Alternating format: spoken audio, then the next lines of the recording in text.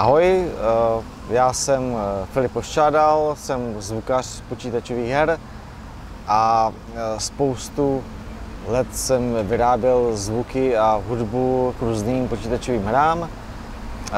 Od asi roku 1992 se mi říká podle mé osobní přezdívky Fred Brooker, takže občas mě všichni říkají Frede, někdo mě říká Pipe a tak podle podle toho, jak se prostě cítí na to, jako, jak mě má rád.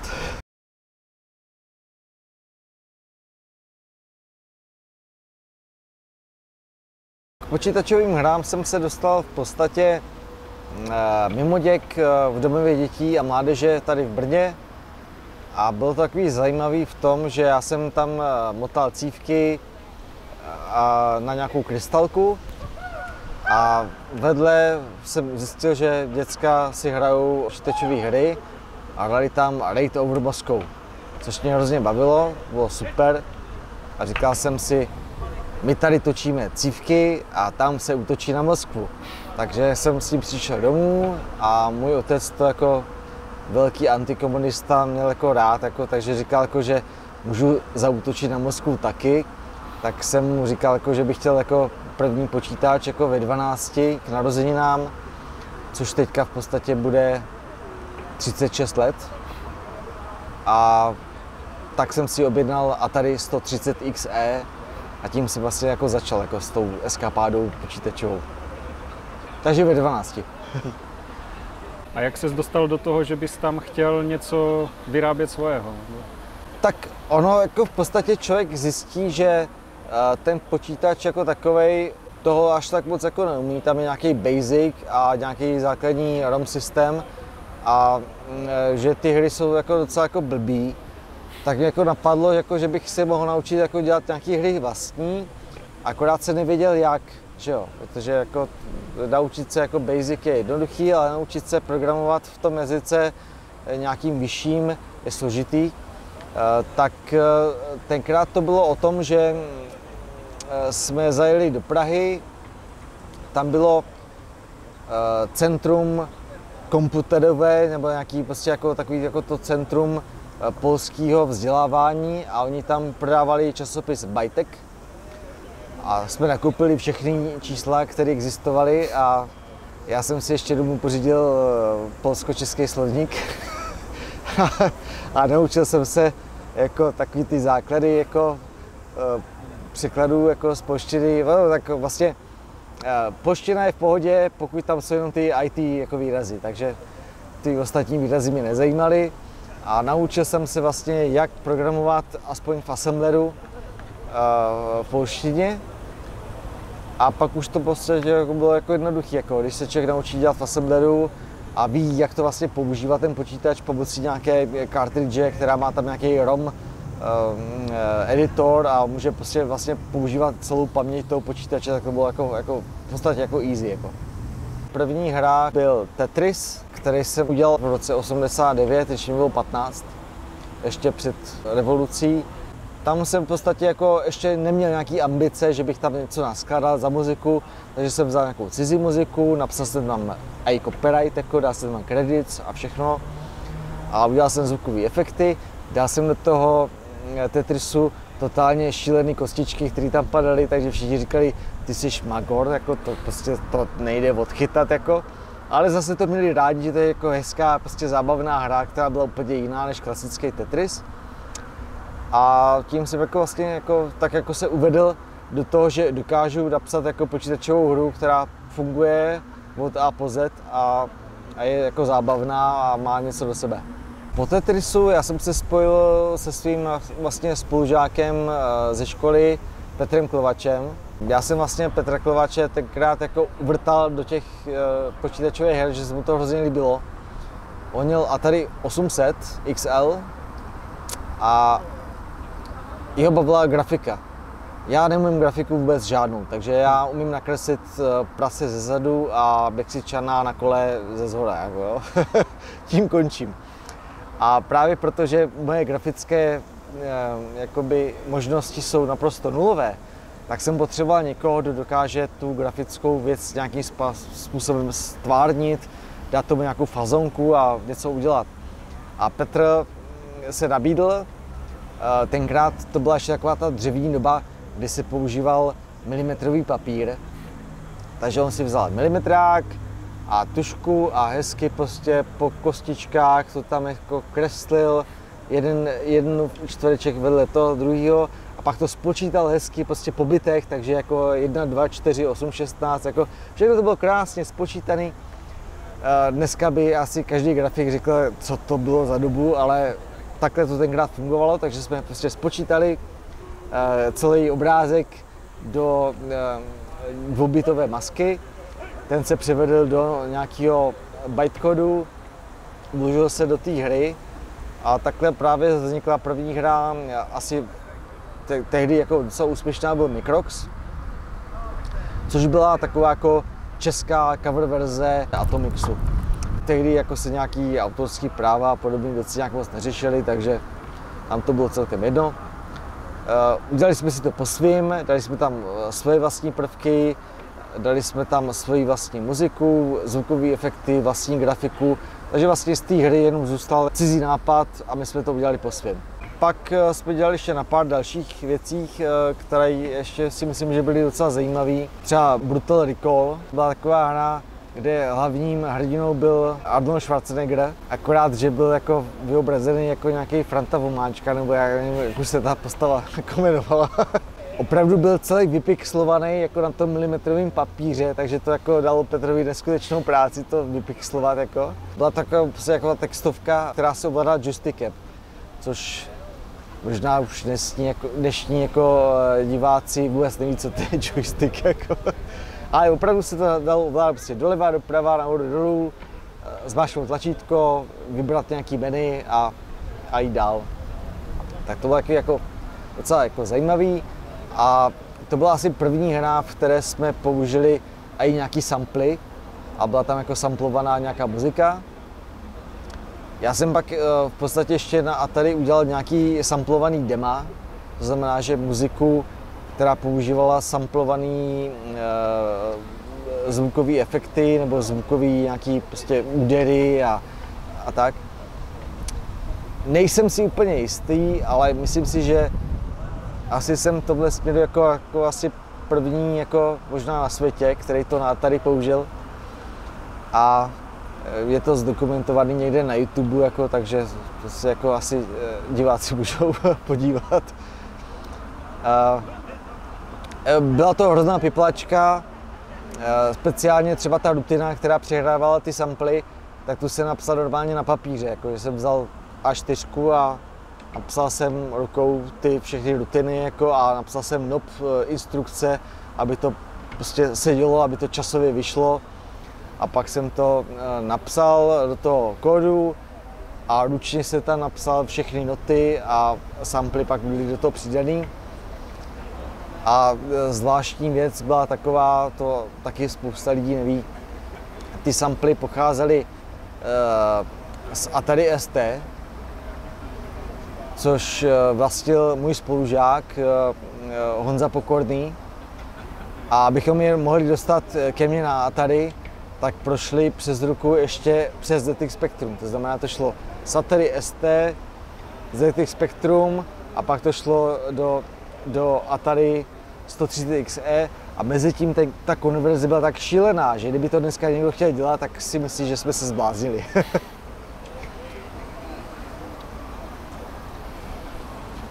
No a tady to teda je ta tvoje Atari část, jak jsi říkal. To si myslím, že takhle jako, to byla taková ta Atari část. Poslední hra, kterou jsme chtěli s Petrem Klevačem udělat, uh, tak jsme chtěli udělat vlastně nějaký Lemmings, ale ty Lemmings eh, zůstaly v takové fázi jakoby jenom dema nebo nějakého jako vývoje jakoby prefabrikátu, který nebyl úplně hotový. Eh, bylo to hezký, panáčci šlapali, jo, byla tam krásná muzika, která si myslím asi jako za mě jako za Atari asi nejlepší, která kdy byla napsaná, ale bylo to prostě jenom furt demo. Hmm. A už v té době jsem viděl, že chci Atari opustit, že už mě to nedává to, co by mě to mělo dávat a opustil jsem Atari a šel jsem eh, do 16-bitových počítačů, to znamená do Commodore Amiga. Hmm. A tam? tam jste teda pokračoval s tím Petrem, nebo? Uh, Petra to už dál nebavilo. Petr, Petr si řekl, jako, že uh, a tady bylo dost a že nějaký hry už ho nebaví, takže on, jeho zajímala prostě vysoká škola a, a tak. A já jsem říkal, tak mě to baví, takže já jsem jako pokračoval v kariéře Freda Brookera v různých Amiga demech a v podstatě jsem byl asi jeden možná z mála v Brně, kteří eh, dělali Foktamedu, což byl vlastně software mm, finské výroby, eh, který uměl eh, dělat pro tracking něco jako, něco jako pro tracker, akorát, že to mělo, myslím, 64 stop a šlo v tom naskládat asi 8 stop v audio signálu, který se nějakým způsobem potom míchali do těch 4 stop, které byly jakoby v tom analogu. Jo. To znamená, bylo takový jako, jako takový hacking jako toho audia a MIDI dohromady a v podstatě já jsem od nějakého 91. roku měl doma první synťák, což byla Yamaha DX7 2D a protože jsem ještě předtím chodil na uh, hodiny učení, jak, jak s těma synťákama pracovat, což mě učil Daniel Foro, možná pro některé lidi naprosto neznámá postavička, ale člověk, uh, který hrál s Progressem 2 a potom dlouhá léta vyučoval na brněnském uh, jamu, tak prostě to bylo taky jako zajímavý, on mě něco naučil, něco mě, něco mě ukázal, jak se pracovat s mugama, jak dělat s tou syntézou zvuku a tak. A v podstatě jako to byl takový ten odpich, já jsem říkal, jako, chci dělat se, se synťákama, že to mám rád, jako, že ta syntéza zvuková je dobrá a že mě baví eh, dělat eh, něco nového, něco, co tady ještě nebylo. V, té, v tehdejší době jsem poslouchal uh, Depeche Mode, Vangelise, jo, takže prostě elektronická muzika, takové ty věci, které byly tehdy jako pro někoho divný, ale pro mě to bylo trendy, bylo to zajímavý. Zrovna třeba jako dneska, když to točíme, tak umřel jako klávesák, hmm. klávesák Depeche Mode, tak pro mě to jako dneska třeba jako, jako docela smutný den, jako, ale to prostě tak k tomu patří. No. Takže eh, já jsem se pak posunul na tu Amigu a na Amize jsem eh, dělal v podstatě opravdu v tom Octamedu a dělal jsem spoustu jako vlastních i zvukových věcí, že jsem se učil něco nasamplovat, nahrát to, pak s tím pracovat. A vyhrál jsem i nějaký dema, jo, nějaký takový ty jako, jak se říkalo, resetkání. Bylo jako re setkání. A byly to tady v Brně prostě takový jako amigácký setkání lidí, kteří dělali s Amigou bylo to fajn, no, spousta lidí tam jenom kopíroval software, jako, co si budeme povídat, jako, kradlo se tady a krásce bude. A, a v roce 1997 jsme vlastně s partou eh, mých kamarádů nějakým způsobem si vymysleli, že si natočíme CD. A to CD jsme zprodukovali, opět jako právě s tím kamarádem, co nám vlastně jako původně jako dal ty samply z toho a tady ST, takže s Honzou Pokorným. A ten to zaprodukoval a vydali jsme eh, CD Dissolver, který vyšlo asi v nákladu 550 kusů a myslím si, jako, že vlastně to odstartovalo to CD moji potom další kariéru, protože to CD slyšel tady na brněnském hotelu Santon na akci Phoenix, ne Phoenix, to ještě nebyl Drakon, to byl Drakon. Takže na Drakonu to slyšel Jarda Kolář a my už jsme se znali předtím, ale tohle z toho přesvědčilo, jako, že za mnou přišel a říkal, že bychom mohli jako spolu uzavřít nějakou spolupráci na dělání jako zvuku k počítačovým hrám. Takže vlastně jako to CD byl takový jakoby vstup vstup do toho, jak dělat, jak dělat eh, ten zvuk a to audio k těm hrám. Takže to byl rok 1997 a pak ještě mezi tím se do toho pronuli uh, rybičky, který jsem dělal pro Altar Games. Napřed jsem dělal pro Altar Pak jsem dělal na Hesperian Wars pro Pterodon a pak jsem přišel pro, pod Pterodon kompletně a dělali jsme na Flying Heroes. Předtím byly ještě nějaké takové ty jiné hry, eh, typu sedm dní, sedm nocí a, a takovýhle a to byly jako štěky, to byly jako naprosto jako z mého pohledu bezvýznamné prostě pokusy o to ozvláštnit jako audio v české hudební scéně jako uh, v počítačových hrách. Jo. A většina těch věcí, nebo v podstatě jako většina byla nahraná pomocí jako Amigy, která se buď to nahrála do nějakého písíčka, a nebo potom to bylo písíčko, písíčko a právě protože to písíčko to nestíhalo, tak jako to bylo jako docela omezený. Potom, eh, když jsem vlastně přišel eh, dělat tu hudbu pro,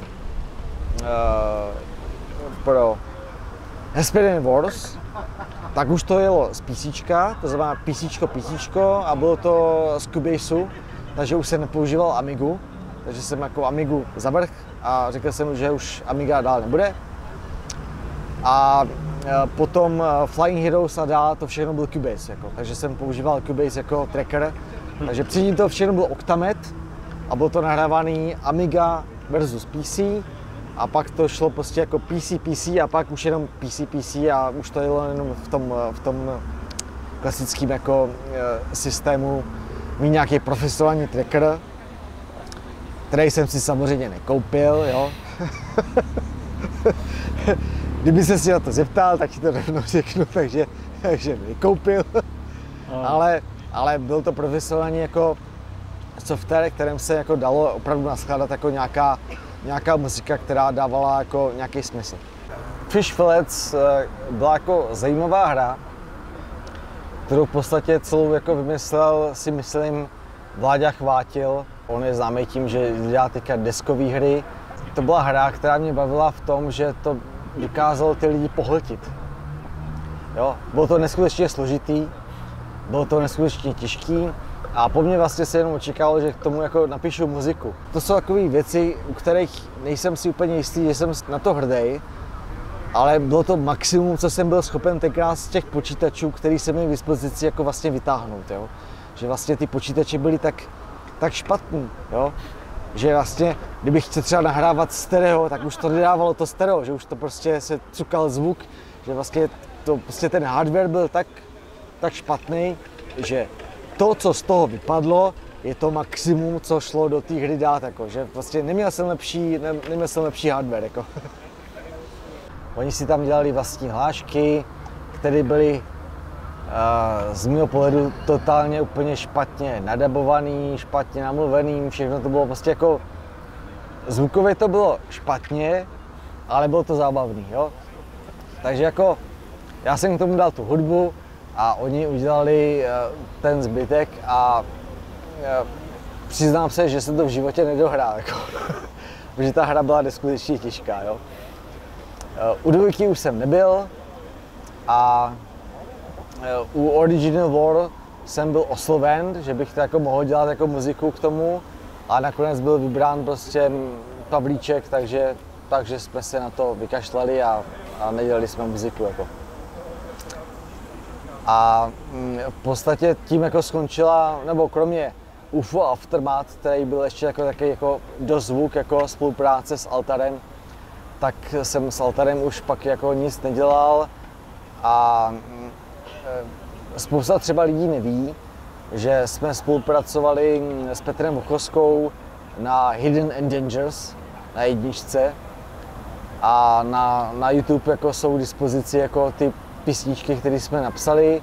Dělal jsem to s Petrem Němcem, velice jako šikovný kluk, který jako fakt dokázal skládat jako úplně úžasné věci. Já spíš takový depresivní, on takový jako spíš hezký. Dali jsme to dohromady nějakým způsobem, poslali jsme to potom jako Illusion Softworks a žádná z těch písniček se vlastně do té hry nedostala, protože oni si pak vybrali nějaký písničky, které byly z nějaký americké produkce jako takže je to, je to online, je to tam jako na poslech, jako, ale mm, nic z toho prostě jako v té hře vlastně nebylo použito. Hmm. A pak vlastně od roku 1998 jsem začal dělat eh, pro Pterodon a začali jsme na hře Hesperian Wars, což byla taková jako zajímavá strategie tahová. V podstatě na tom jako Pterodon vykvetl, že se tam zjistilo, kdo tam může pracovat, na čem může dělat, jako 2D, 3D, jak to technicky jako dát dohromady. I já, jako, když jako se na to dívám jako zpětně, opět audio je na YouTube, kompletně celý soundtrack jsem dal online, ale zvukově to znělo strašně. Jako. Takže byly to taky spíš jako experimenty, jako jak dělat jako audio do nějaké profesionální hry. Eh, celá hra eh, Hesperian Wars, myslím, vyšla akorát v Německu, takže vůbec se to nedostalo jako na český trh. A pak, eh, pak jsme začali pracovat na Flying Heroes a to si jako myslím, jako, že už je jako, jako, jako docela jako slušně udělaná jako počítačová hra, kterou vlastně Jarek Kulář vymyslel. Takový něco jako Doom, ale ve vzduchu. Takže prostě střílení eh, všech mezi všema, akorát tam jsou ptáci a různí droidové a eh, hrnce lítající a prostě je Megor festival, jo. Lítá tam všechno mezi všema, střílí to po, po všem uh, různýma nábojama, takže to bylo jako hrozně jako zábavný i z toho jakoby pohledu uh, toho audia. A já jsem k tomu udělal asi hodinový soundtrack, který pak byl jako přemíchaný a opět je zase na YouTube. To znamená, jako, že zase si to lidi můžou poslechnout. Uh, myslím, jako, že to byla jako taková nedoceněná hra a byl to fakt jako dobrá, dobrá, dobrá střílečka ve vzduchu s trošku šíleným příběhem, který možná přesahoval zpátky z toho Hesperian Wars ještě pořád. Jako, že to bylo takový jako Jarek Kolář se nechtěl zbavit toho nápadu, jak, jak uchopit tu svoji Hesperii, tak ji ještě strčil jako do nové hry a pak už ho to jako ještě přestalo bavit, takže si tak. Jaká tehdy byla v tom studiu atmosféra, protože u toho Hesperian Wars to vás bylo nějak extrémně málo, ne? To, to, to vás, a u toho Flying Heroes U, u Hesperian třeba... Wars nás, myslím, bylo asi, tak já nevím, pět, nebo tak nějak prostě jo, Michal Janáček, uh, Petr Kováč, já, Jarek Kolář a... Uh, Mariša. Mariša. Takže pět, opravdu, jako pět lidí, jako jo. A myslím si, jako, že v podstatě, já nechci křivdit nikomu, myslím si, že Mariša na tom nedělal nic. a že vlastně my čtyři jsme nějakým způsobem slepili jako uh, nějaký jakoby pokus o hru. A jako, myslím si, že to je hezká hra, na tehdejší dobu, jo? na ten rok 1998, jako to bylo jako docela jako hezký, ale jako, že bych na to byl nějaký pišný, jako, tak to určitě jako nejsem. Jo? Uh, u Flying Heroes už nás samozřejmě bylo podstatně více, to studio se přestěhovalo a potom vlastně, když jsme začali pracovat na, uh, na Vietkongu, který se teda původně jmenoval Rambo, asi možná jako spousta lidí neví, nebo možná ví, nevím, uh, tak vlastně jako Rambo, Vietcong, uh, tam už to jako narostlo do podstatně větších, jako, větších jakoby, lidských jako zdrojů a to, to už jako samozřejmě sebou nese různá rizika, a některé výhody. Jenom tak jako pro kontext, jestli dokážeš říct, jaké to třeba tehdy bylo, protože že od dneska máš na všechno různé knihovny a samplů po internetu všude a tak. Tím, že jsem byl jediný zvukař v celé firmě, eh, tak jsem si nastudoval dokumentaci, eh, pak jsem zkomunikoval eh, tak jako v podstatě jako na blind, jsem to zkusil a zkomunikoval jsem chlapa, který se jmenoval Daniel de Orta. A jsem si jako, předtím jako jsem si myslel, že je Daniela, jo? Já jsem si myslel, že, je to ženská, jo? A byl to chlap teda, jo? A on pak za náma přijel někde, já nevím, buď to ze Skotska nebo z Irska, jako, a byl zástupce firmy Creative Labs. Přivez tam spoustu hardwareů a dokumentací a všech věcí a Samozřejmě to mělo anglické koncovky, takže jsem to pak musel ustřihnout a napájet tam normálně klasický český kabely, takže to nešlo zapojit. S tím nepočítali angličani, jako jo, že by to jako u nás fungovalo. A A pamatuju si moc dobře, jak tehdy Petr Vochoska říkal, a kde jsou ti angláni? Já jsem říkal, nikde. Šli jenom k nám a pak jeli do Rakouska. Na vás se vykašlali. Takže prostě do týmu mafie vůbec nedorazili, protože jsem to domluvil jenom já, tak prostě přijeli k nám, u nás to všechno vyřešili a jeli pryč. Jak jsi třeba vymýšlel nějaké zvuky ještě před tím Rambem pro Flying Heroes? Úplně náhodně, to, to je... Já tak říkám, jako, já jsem jako samozřejmě prošel nějakým školením, jak se dělají zvukové efekty, nebo jak se dělají zvuky obecně od toho Daniela Foro, který vlastně fakt mi naučil moc. On je teďka někde v Japonsku, jo. Má určitě, myslím, už přes 60 let. A tehdy tady prostě v Brně byl zastupcem Yamahy, Korgu a tak. Takže vlastně měl nějaký info, nějaký know-how, to mě přidal. Ale já jsem se jako, jako vlastně učil jako vlastní školou, zkoušel jsem metody pokus, omyl a tak. Uh, u toho Flying Heroes už jsem jako měl nějaké znalosti, co a jak dělat. Takže jako my jsme tam třeba jako vlastně měli i třeba Credits song, tak ten je napsaný kompletně jako s elektrickou kytarou, jako kytarou s volama a bylo to prostě fakt jako super, jo. Takže to doporučuju, jo, Credit Song 18, ten je prostě je prostě pecka. Eh, Jirka Mošna, bývalý, eh, bývalý kytarista, tady spousty hvězd, eh, jakoby na moravské nebo české scéně, tak jako jsem zahrál a já mu za to jako fakt jako děkuju, jo. prostě fakt úžasný kytarista. A e, ty zvukové efekty, to je, to je složitý, to se člověk prostě učí za pochodu, jo. Prostě zkoušíš, experimentuješ. Já jsem si vlastně v podstatě většinu zvukových efektů, jak se dělají, naučil až u toho Větkongu. A u Větkongu, jestli teda můžeme se přesunout k Větkongu, tak to bylo takový zajímavý v tom, že spousta zvukových efektů, oni si lidi myslí, že to je z CDček. Mají trošku pravdu, protože samozřejmě spousta těch ptáčků a těch úzdných potvor jako to tady nežije, to tady jako nedělá ty zvuky, takže to tady prostě nemáme, jo. Ale spousta zvuků je opravdu tady brněnských, na tyrlich jako Brno.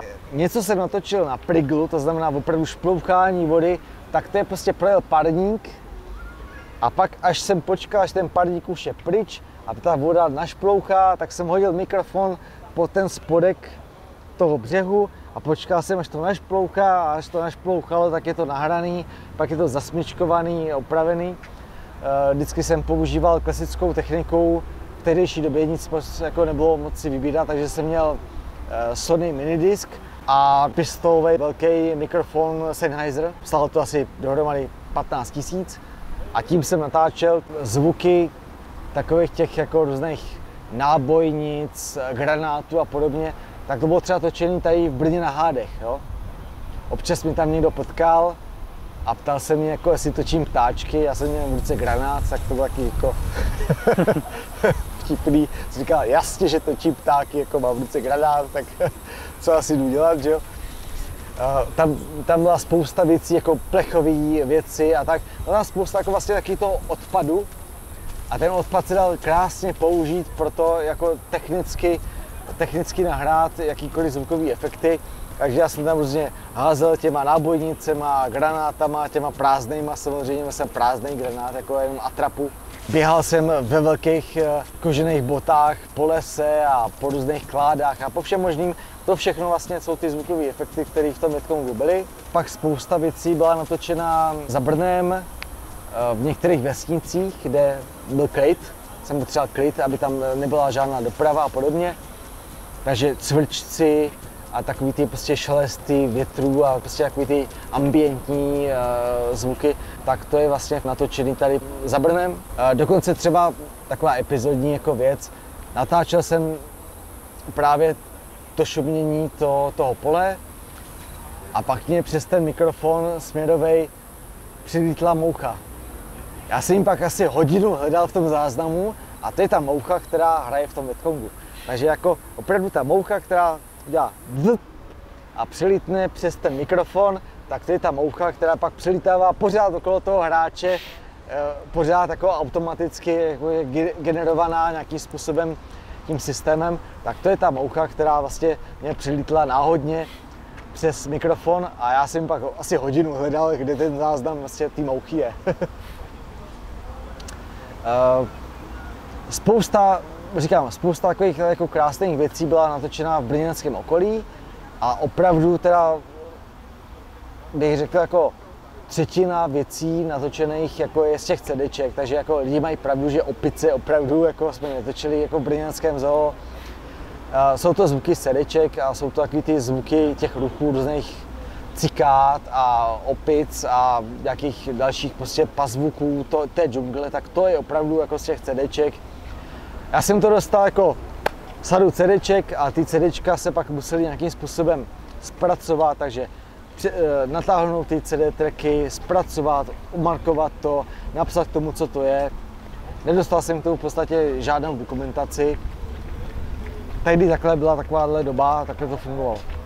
Jarek mi dal nějaké dev diary, tam se ty v jeden moment aj objevuješ, jak tam krajíš maso na stole. To bylo zvukové studio Drak, které bylo součástí komplexu, kde jsme tenkrát asi měli kanceláře.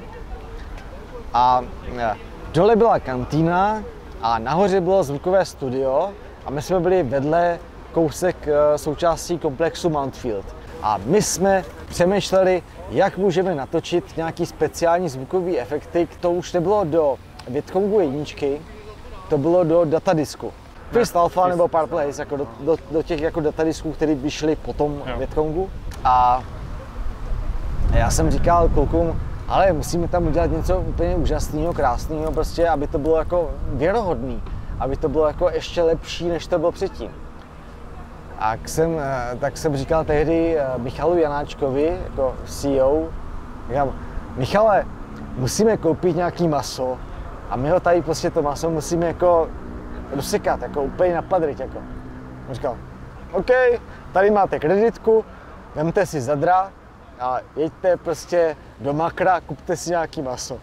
Tak jsme jeli do makra, to byl kousek z 500 metrů, koupili jsme maso, dojeli jsme do studia, já jsem si tam vzal pár grafiků, takových těch jako trošku jako, kteří byli jako při síle, dal jsem jim nějaký nože a ruce, že jo, používali a si říkal, a teď to prostě musíte nalámat ty kosti, sekat do toho masa a tak.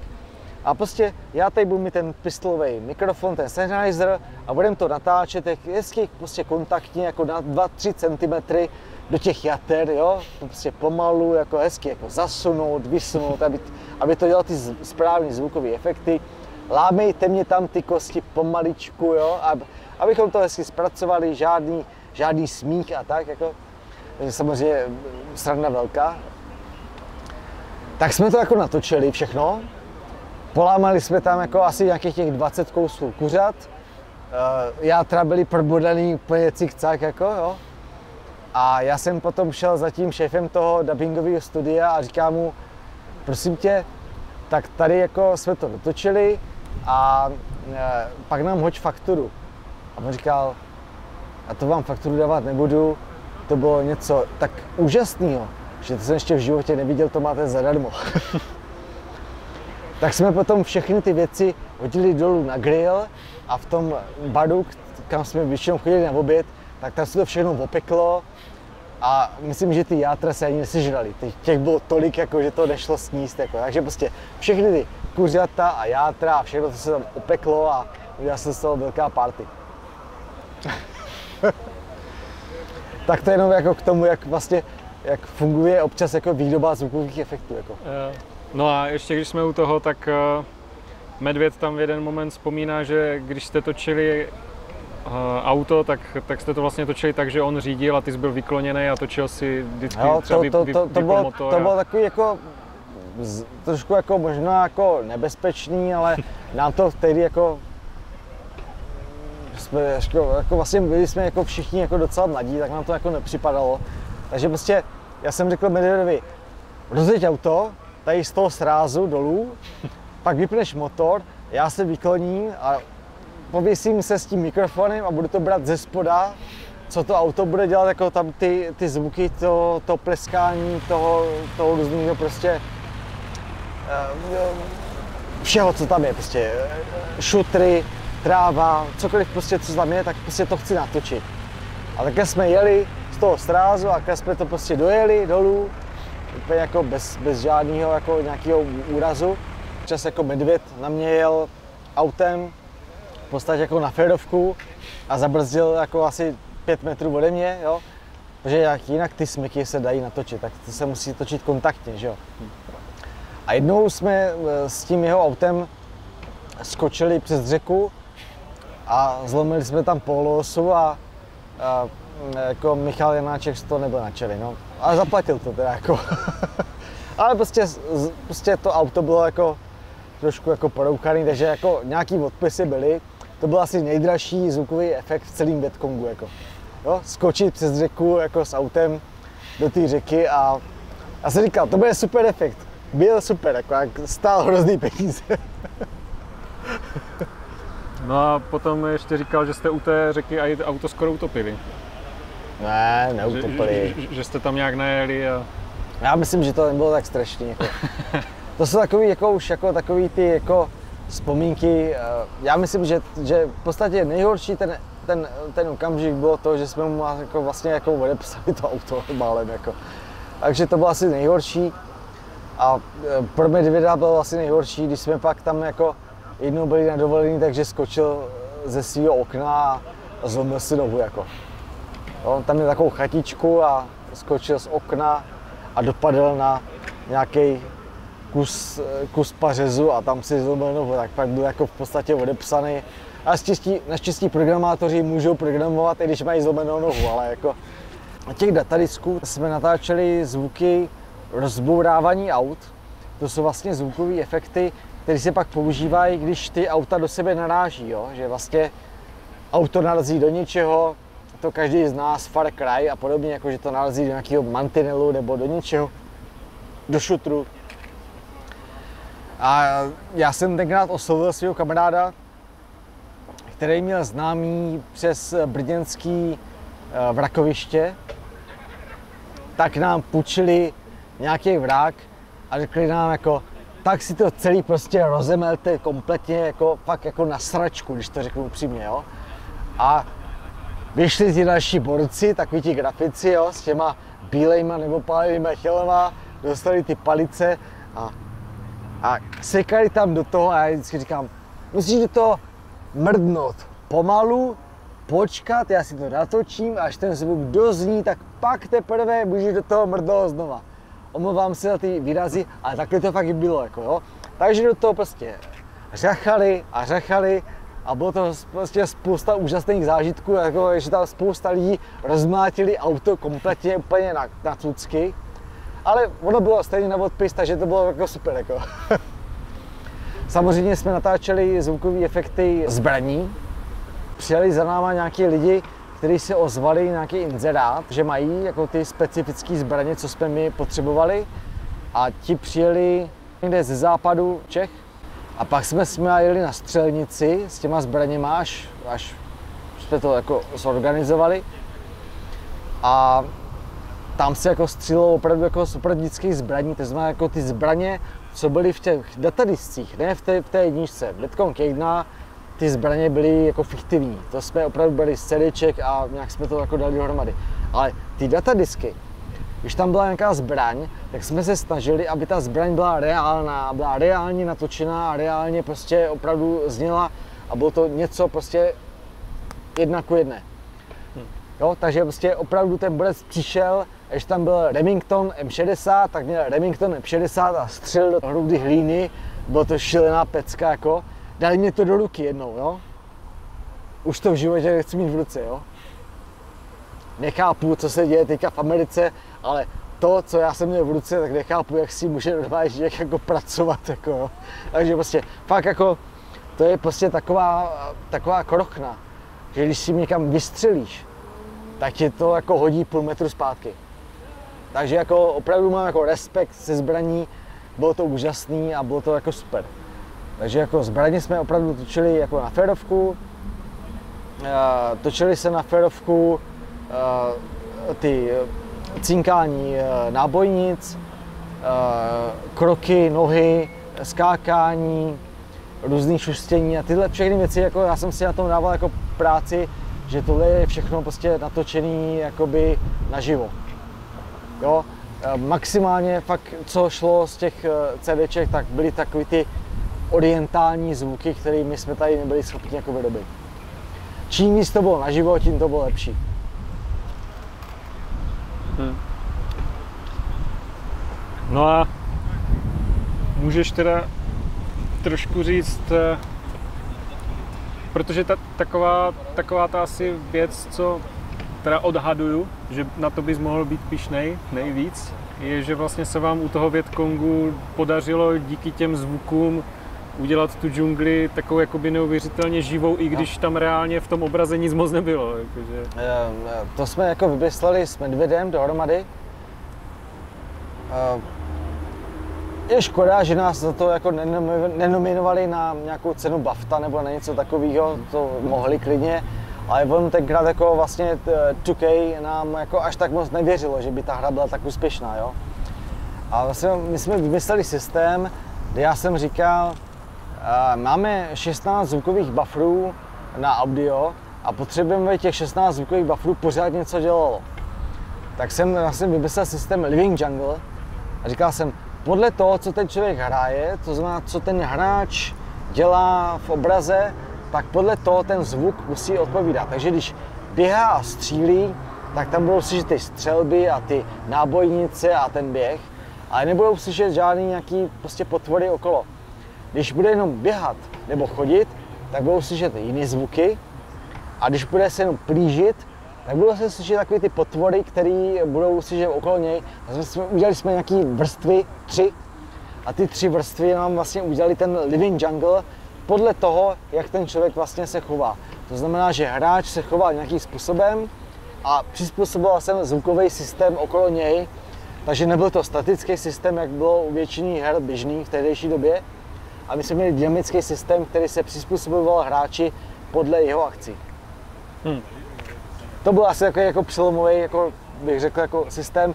Dneska mi to připadá jako blbost, ale fungovalo to krásně. Jo? Já jsem pišnej na systém, který jsme vymysleli se Solákem, to znamená se uh, s IVM, jako, se Solitudem. A to bylo o tom, že jsme vymysleli systém, jak dělat uh, lip syncing. To znamená jako jak synchronizovat dubbing na, na to, co dělá animace eh, v puse. Což je problém eh, v jakýkoliv hře a je to velký problém i jako v normálním klasickém dubbingu a v počítačových hrách obecně. Jo. A uh, Soul vymyslel, jak to udělat. Použil nějakou Fourierovou transformaci, jak eh, zjistit, co je S, A, E, O, I, O, prostě ty, ty jednotlivé eh, samohlásky plus ty, které dělají sikavky. A vymyslel systém, jak to zpracovat. Takže já jsem měl systém, který jsem pustil a mě to projelo všechny moje dubbingy a vypadl z toho nějaký 150 bajtový soubor a tam byly všechny ty věci, co mají ty postavičky jako dělat eh, pusou. Což bylo super. A úplně podobným způsobem jsme s, eh, se Solem vymysleli eh, systém na, eh, na vysílačky, protože já jsem říkal, vysílačkový systém, to musí být jako nějaký šum, nějaký prasknutí na začátku, prasknutí na konci, nějaký praskání mezi tím a tam do toho někdo něco povídá. To znamená, já jsem jenom nachystal, co říká ta postavička mezi tím a ten celý systém toho, co to praskání na začátku, na konci, to bylo automatizovaný. To znamená, jako, že v podstatě já jsem jenom opra- opravil uh, ekvalizaci toho, co ta postavička mi jako napovídá, co jsme měli jako samozřejmě nějakým způsobem omarkovaný, ty jednotlivé věci, aby to šlo dělat dávkově. A pak jsme pustili skript a ten skript to celý přehrkal a vypadly z toho ty vysílačky úplně automatizovaně. Bylo tam asi takových nevím, 10, 20 uh, vavů, který se musel dělat ručně. To byly takový jako, že se někdo ztrácel a se, objevoval, jako, že ztrácí se někde ve vysílačce, jako, že mu chybí signál a podobně. Fakt to bylo naprostý minimum. Znamená, všechno se dělalo uh, automaticky a ten vlastně vtip byl v tom, že dubbing se dělá u každý počítačové hry až úplně na konci, takže už není vůbec žádný čas, jo. takže jako v podstatě jako uh, dubbing dostanete, já nevím, d- dva týdny před vydáním, jako jo. A máte to udělat jako třeba v pěti jazycích, jako jo. To znamená, že člověk maká na kule a dělá jenom dubbing a nic jiného nezajímá a musí to být prostě nachystaný a vymyšlený a nic jako ruční práce neexistuje, jo? to se prostě musí nachystat nějakým způsobem jako předtím jako, a musí to fungovat automaticky. Takže nejhorší věc, která se člověku stane, že má tehdy, podotýkám při 20 rokama, puštěný dva počítače, jde z práce domů, vrátí se a na jednom z nich prostě svítí modrá obrazovka, jako jo, tak to je, tak to je fakt prdeli. Ale to se nám samozřejmě, jako, to se stane každému, jako kdo používá Windows. Takže asi tak, no. Ty jsi dělal na té jedničce, na těch datadiscích, ale před tou dvojkou nebo někdy, když se začal Já jsem, já jsem v půlce ty dvojky odešel, jako, A šel jsem dělat webové stránky pro Mafii 2. Takže já jsem jako vlastně jako přemigroval jako ono mě v podstatě jako webové stránky už uh, patřily uh, Pterodonu a Bitkongu předtím. A pak v podstatě já jsem, já jsem odešel do, do mafie, to znamená našeho investora, do Illusion Softworks a tam jsem dělal prostě webovky jako napřímo. Takže u Bitkongu 2 to mám tak jako na půlku. Jako, jo. Hmm. Tam prostě jako to, že to ta hra nedopadla, v podstatě jako ani až tak moc není jako moje vina, ale já jako říkám jako, já jsem u té hry z půlky nebyl, takže nevím. A přiznám upřímně, že jsem v životě nehrál jako. Co říkali borci, tak si vzali moc velké sousto na moc krátký čas, no. Jako, ano, chtěli to, změnit strašně moc to věcí. Byla, a... a... já jsem do toho měl jako nějaký ještě jako soukromý problémy a jsem říkal, nemůžeme dělat všechno prostě za takový krátký čas a všechno na nás a a bohužel tenkrát tak, takhle to bylo nastavené a dopadlo to, jak to dopadlo. No. Hmm. Takže jako Vietcong 2 byl takový jako, já to neříkám, že to byl můj osobní fail, to byl celý fail jako Pterodon, jako to byl takový prostě globální fail celé firmy. Hmm. V podstatě jako tím, tímhle failem se potom Pterodon jako vlastně stal dodavatelem lidské síly do Mafie, Mafie 2. je to vlastně jako, tak nějak proběhlo. Já jsem pokračoval docela jako různě. Já jsem v podstatě eh, po, eh, po tom, co jsem dělal pro Illusion Softworks eh, Webmastera a vymýšlel jsem třeba aplikace na to, jak si objednávat jídlo. Zdravíme, dáme jídlo. Vy jste to měli dřív. takže, takže pak jsem nějak zkoušel jako něco jiného. Odešel jsem do Prahy, Pracoval jsem eh, třeba pro Vodafone eh, CZ, zkoušel jsem nějaký různé mobilní aplikace, třeba pro mobilní eh, aplikace pro, pro, pro video produkci, jako pro, jak se říká, chytrý televize. Jo?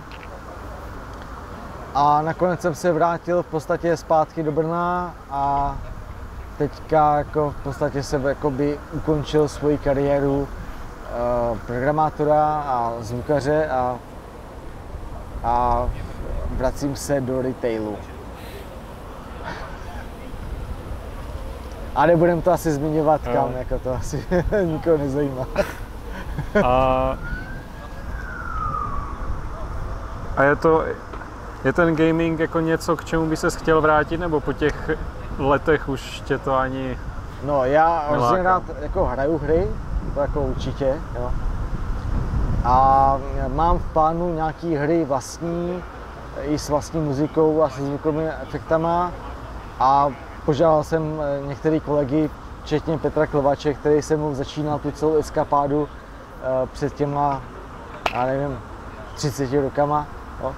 tak eh, že vlastně jako já jsem nikdy na počítačové hry neza, nezanevřel, akorát už nechci dělat v tom velkém korporátu.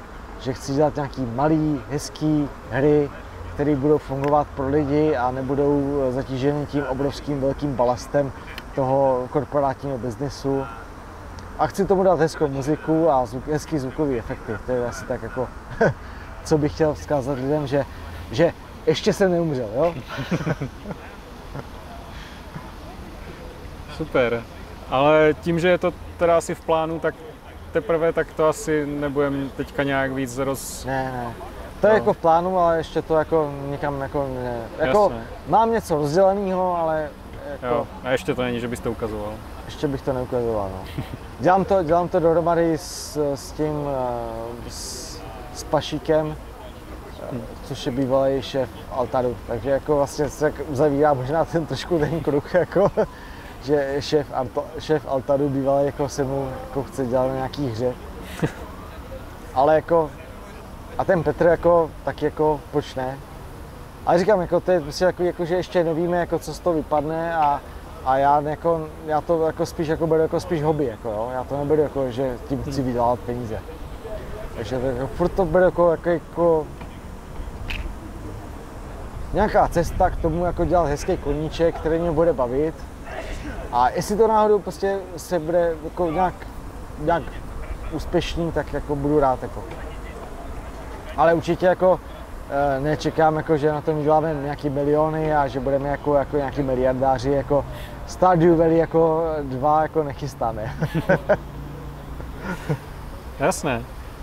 Tak jo, tak super. Tak uh, jsme vlastně tak došli ke konci. Tak v tom, v tom případě bych ti strašně rád poděkoval, že jsi teda udělal čas. A popřeju ti, ať teda to, co máš teďka v plánu, tak se vydaří a uvidíme od tebe zase nějakou hru v budoucnu. Ne? No, minimálně aspoň nějaký zvuk nebo nějaký soundtrack nebo něco jako takového. Minimálně. No. To mám jako v plánu. Moje kamarádka napsala knížku básní a požádala mě, abych to ozvučil, tak to jí minimálně dlužím. Takže jako v podstatě jako eh, Takže to byla jako bych, bych, audiokniha? bych, nebo? bych, rád jako udělal takovou jako vlastně jako ambientní soundtrack jako eh, s tím, že bude k tomu interaktivní, proklikávací jako knížka básní. Super, tak to se budeme, budeme těšit. Já taky jako třeba to někoho bude bavit, minimálně, minimálně nás dva, jako co jsme to vymysleli. Ano.